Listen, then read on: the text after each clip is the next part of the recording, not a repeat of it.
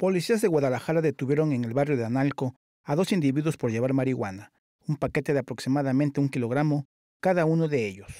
Los hechos se suscitaron por la calle 28 de enero entre Núñez de Morquecho y Los Ángeles, cuando los elementos tapatíos llevaban a cabo su recorrido de vigilancia y observaron a dos sujetos en actitud sospechosa. Estos, al percatarse de la presencia de los uniformados, intentaron huir.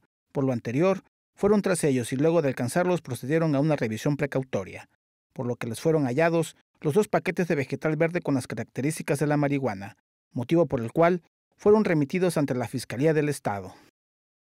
Para Noticel.mx, Orlando Fernández. 9 de cada 10 accidentes son por fuga de gas.